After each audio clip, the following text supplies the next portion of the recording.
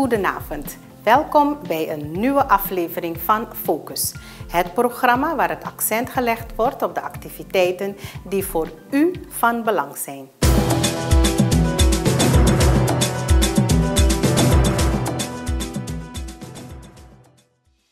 Vandaag in Focus.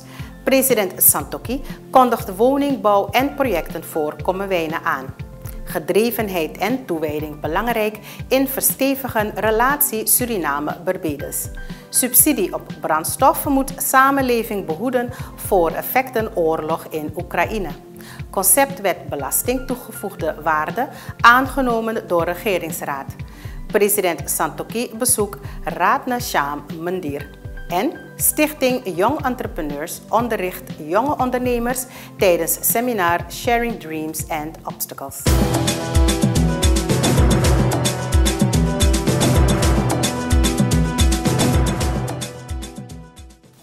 De regering gaat burgers die niet zelf kunnen bouwen, samen met de particuliere sector tegemoetkomen. Dit zei president Chandrika Prasad Santoki op donderdag 7 april tijdens de uitreiking van grondpapieren op Kommerwijnen. Naast de woningbouw heeft de regering nog heel wat projecten op stapel, waarvan enkele in Kommerwijnen uitgevoerd zullen worden. De Wasanoka bouw, daar gaat de regering samen met de particuliere sector bouwen. En we gaan over twee weken alle personen die in de bouwsector zijn, prefab woningen, allemaal uitnodigen. Ik de man doe een presentatie, soort woning die man kan bouwen, tegen welke prijs. En dan wordt dat een openbare inschrijving, zodat de mensen kunnen inschrijven. En we kunnen starten met de woningbouw. Dat is een traject waar we rekening houden met personen die wel kunnen bouwen, personen die niet kunnen bouwen. Dat traject na, aan een land die grond, maar particulieren hebben gronden. En particulieren kunnen sneller bouwen dan land die. Dan gaan we deal sluiten met die particulier. Van jaren, if you bouw, dan kan je passie geven. En van passie komt, dan is het bij je grond. En het bij je ook Alleen gaan we deal sluiten met die particulier. Dat ze wel die kosten van de staat moeten verrekenen door ook gronden ter beschikking te stellen aan het volk van Suriname. Zodat we weer burgers kunnen helpen die een stukje grond nodig hebben. Dat is een plaatje voor de regering die zie. En step by step we komen. Want vanaf een maand we begin voeren zo'n projecten uit. Een anderhalf jaar bij de ding zou we losse financiële crisis op. En een financiële crisis die onder controle. Die lege kassen die leeg waren en gestolen waren, die kassen zijn nu weer vol. Niet helemaal, maar we kunnen salarisverhoging geven. We kunnen kinderbijslagverhoging geven. We kunnen die gepensioneerden helpen. We kunnen personen met een beperking helpen. Jullie, we lukken, we geven een verhoging pakken. En naarmate we op inkomsten gaan we teruggeven aan het volk. Waarom? Het volk, u heeft offers gebracht. U heeft zware offers gebracht en nu is het tijd om terug te geven aan het volk van Suriname. En we gaan gericht teruggeven, ja. U gaat merken deze maand, zo projecten we voeren uit. Dat werkgelegenheid ook komt. Want op project kwam, Bigi project ook komt toe. En voor wat betreft Kommerwijnen, welke zijn de projecten die we hier allemaal gepland hebben? Eén was waterprobleem. Kommerwijnen heeft het modernste waterzuiveringsinstallatie van heel Caribisch gebied. En dat hebben we gedaan met onze spaarcenten. Kommerwijnen, die openbare inschrijving komt binnenkort. De expression of interest is al eruit. En dat is de brug Boksel, Laarwijk voor Laarwijk. Zodat verkeer die zorgt voor file een beetje naar zuiden gebracht kan worden. De minister van TCTRO hebben opdracht al van mij gehad om te starten met de openbare inschrijving voor die veerboot Meerzorg Paramaribo. Want vier bedrijven hebben al interesse getoond dat ze willen inzetten de veerboot.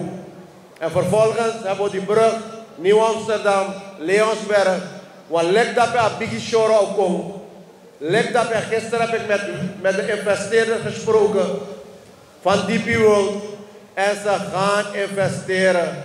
Binnenkort gaat u die activiteiten daar zien. Dus komen wij naar Outro Amoro Biggie district aan een havenfaciliteit. Grootste havenfaciliteit.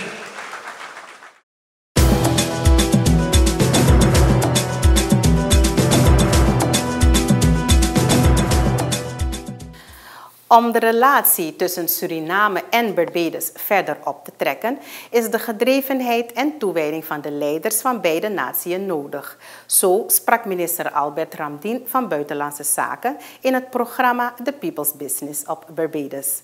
De bewindsman vertoeft met een delegatie op het eiland voor het voeren van besprekingen in het kader van de bilaterale relatie tussen de twee landen. What I want to say is that this relationship, the elevation of it, goes to the highest political level in both countries. This is not an agreement between two countries and managed by, by cabinet ministers. This is something which will be managed by the two leaders, the Honorable Prime Minister of your country, uh, Mia Amor Motley, and the President of Suriname, Chandrika Prasad Santoki. And the reason I'm mentioning this is because if we want action, we need the commitment, not only the commitment, but the drive of two leaders to make this happen. And what we have seen over the past couple of months when we had meetings in different places is that there is a real good alignment in thinking, in vision, but also the action needed for this to happen. And today we are going back Tomorrow we'll be going back to Suriname with clear indication how we're going to put this all together so that it, the actions will take place. And I, I believe we had a great visit, good discussions. We will follow up with lots of other agreements, but in the end, it will be the private sector which will have to drive this process intensively. The governments will facilitate that process wherever possible, taking down barriers, uh, promoting some new areas of collaboration, uh, aviation, connectivity, sea and uh, air routes, um, but also exchanging experiences. We have some experience, technical capabilities, which we want to share with Barbados. Barbados has technical capabilities which we can benefit from. So all in all, I believe this is going to be a mutually beneficial relationship, a win-win for both countries, and fully and compliant with the thinking behind the integration of the Caribbean community.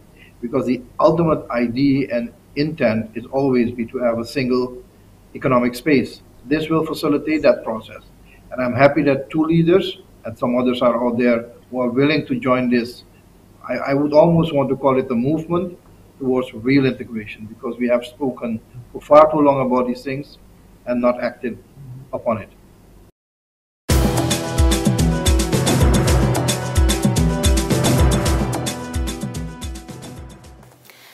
De regering heeft besloten de prijs van brandstof tijdelijk deels te subsidiëren.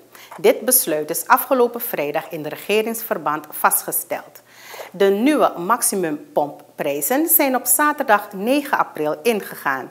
De subsidie is bedoeld om de effecten die de oorlog in Oekraïne op de samenleving heeft te verminderen.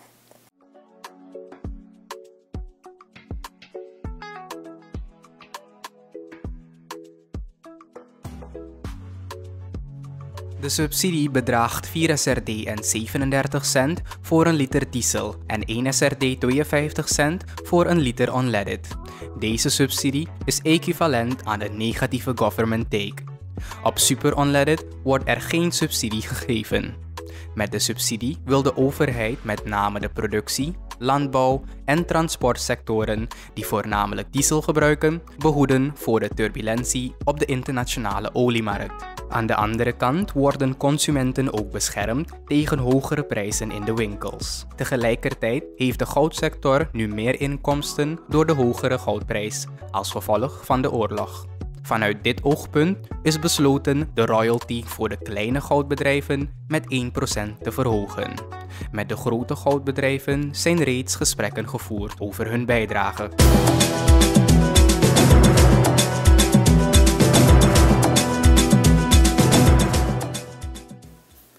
Op vrijdag 8 april is de conceptwet voor de belasting over de toegevoegde waarde BTW 2022 aangenomen door de regeringsraad. De invoering van de BTW is onderdeel van de economische hervorming die Suriname momenteel aan het doorvoeren is.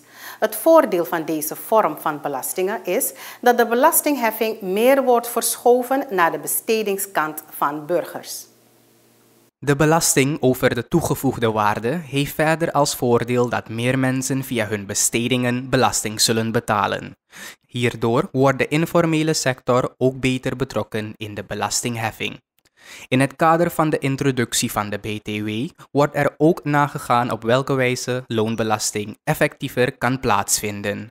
De BTW is al jarenlang de norm in de regio en internationaal. Het is een belangrijke stap in de richting van een moderner belastingstelsel dat meer mogelijkheden creëert voor economische stabiliteit en groei.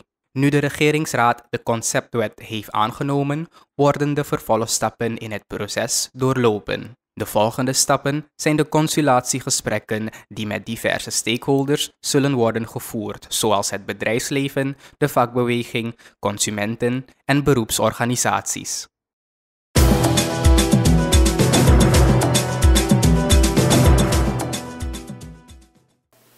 In de reeks bezoeken van president Chandrika Persat Santokhi aan gebedshuizen in verband met Naurati is ook de Ratnesham Mandir de eer te beurt gevallen om het staatshoofd te mogen ontvangen. Dit gebeurde op vrijdag 8 april aan de nu weer gevonden weg.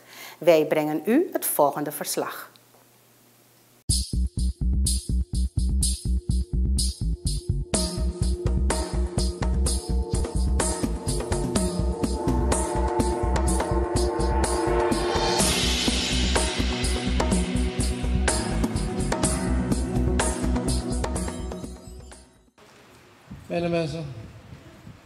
We hebben zoveel boodschappen gehoord tijdens Navratri. En natuurlijk ben ik vanavond hier met een boodschap gekomen. En ik luisterde wat de Vyasji aan het zeggen was. Hij heeft een heleboel dingen gezegd. Allemaal zaken die we als mens moeten doen willen we als mens ook aanvaard worden door onze schepper. Ik ga maar twee noemen. Vyasji heeft gezegd, कि हम लोग अपन जीवन में इतना चिंता करता हूँ चिंता उस प्रॉब्लम के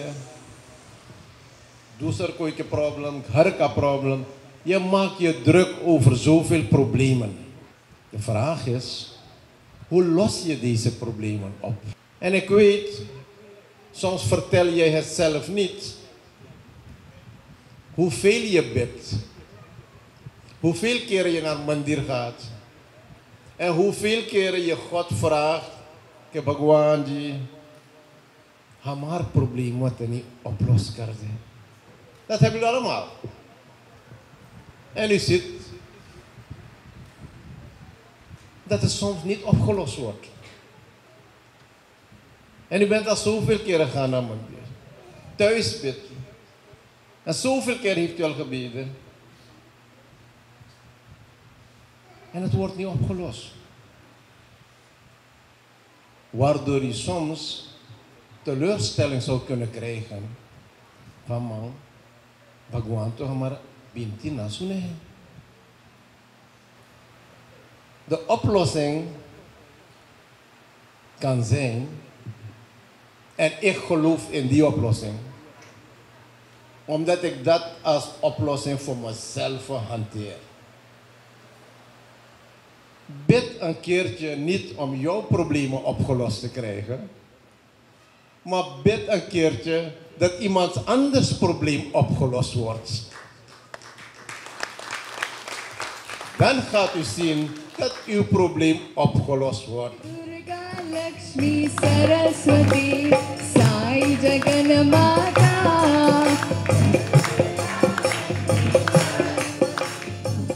Vandaag, het is nu de periode van Nauraten. Dat is een, voor de Hindoe is dat een hele speciale uh, tijd. En dat houdt in dat iedereen um, deze, heel, deze negen dagen dan heel veel gebed doorhouden. Uh, het zij ook met vasten. En, um, en het wordt, um, deze tijd is eigenlijk, zou je kunnen zeggen, het goede is dan overwonnen door het, door het kwade. Hè? Dus, en er wordt er heel veel gebeden. En het wordt voornamelijk gebeden die in het teken staat voor de, voor de moeder, de moeder van het universum. En het wordt um, gebeden voor kracht, voor de uh, positiviteit, voor de energie. En hierdoor, hoe, hoe wij organiseren dan bijeenkomsten. Hè? En ja, dat is zo'n beetje, dat houdt eigenlijk dit in.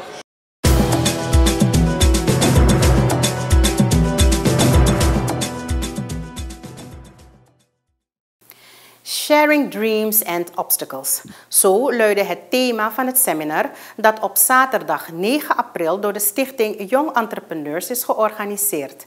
In samenwerking met het platform Golden Future werden jonge ondernemers in het Jacana Amazon Wellness Resort onderricht in het omgaan met de uitdagingen binnen het ondernemen.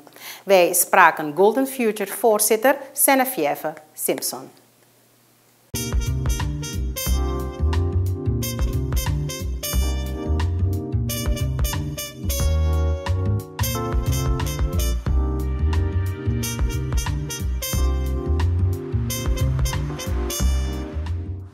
Thema van het seminar is Sharing Dreams and Obstacles. We hebben gekozen voor dit seminar omdat uh, vele startende ondernemers basically uh, een beetje moeite hebben met het traject van het ondernemen. En er zijn verschillende topics die eigenlijk um, te maken hebben met het ondernemerschap. Zeker ook het ondernemen in leiderschap, maar ook het stukje met personeel omgaan. Dus daarom hebben we zeg maar, ook een HR-specialist die, die bij dit seminar um, is iemand die deelneemt aan zo'n seminar, hoe kan de persoon na vandaag zich opstellen? Wat, wat zal het uh, belang zijn van zo'n seminar? Nou kijk, eigenlijk binnen het ondernemen of werkgever, nou zeg maar, als je dus deze seminar zou volgen of bijwonen, zeg maar, dan zou je in feite weggaan met kennis voor jou als personeel, in dit geval als je werknemer bent, maar ook als werkgever, als ondernemer ga je ook weten van oké, hoe um, gebruik ik mijn leiderschapstijlen? Hoe ben ik de persoon die uh, het werk aanbiedt, zeg maar? En als leider ook zeg van, oké, hoe ga ik met personeel om? Welke uitdagingen, waar loop ik tegenaan? Wat moet ik verbeteren? Uh, hoe moet ik daarop inspelen, et cetera? Dat zou je in feite van dit seminar kunnen leren.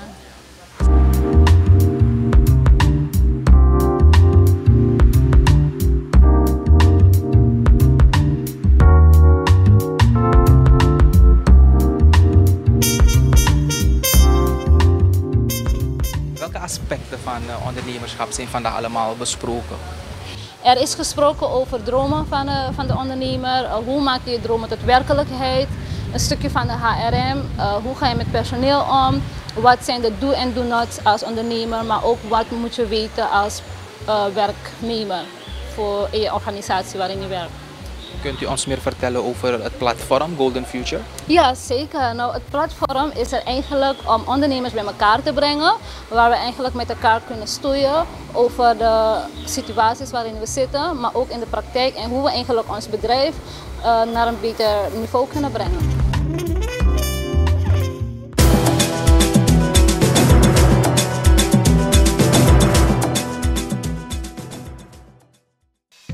We zijn gekomen aan het einde van Focus. Bedankt voor uw aandacht. Goedenavond.